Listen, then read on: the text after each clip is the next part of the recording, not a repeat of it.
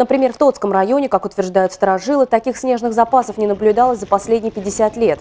А учитывая, что помимо снега есть еще и четыре местные речки, все это заставляет работать в режиме повышенной готовности.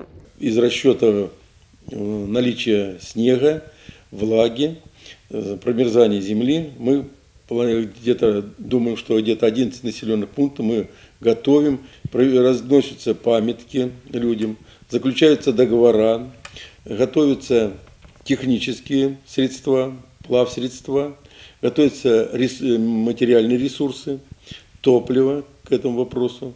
Все это сейчас готовится. Обилие снега, глубокое промерзание почвы, возможные осадки резкое потепление – все вместе может сделать весенний разлив крайне неприятным.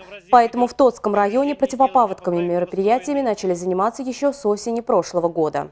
Река Сорока здесь у нас находится. И нас находится здесь небольшая плотина.